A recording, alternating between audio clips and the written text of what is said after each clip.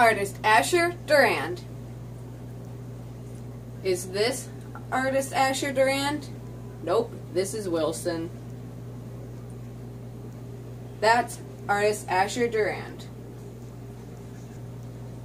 Born 1796, lived in Jefferson Village, died 1886.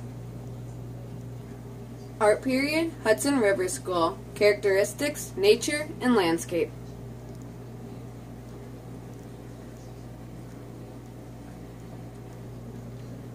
Asher Durand's most famous piece of artwork is Kindred Spirits.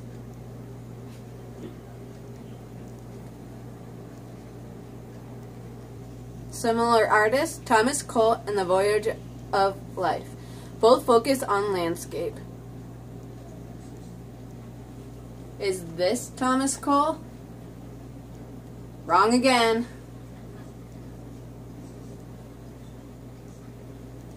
But this handsome man right here definitely is. Ugh.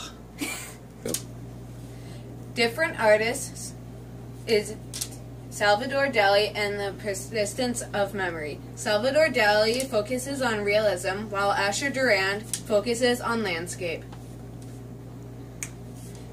Is this Salvador Dali?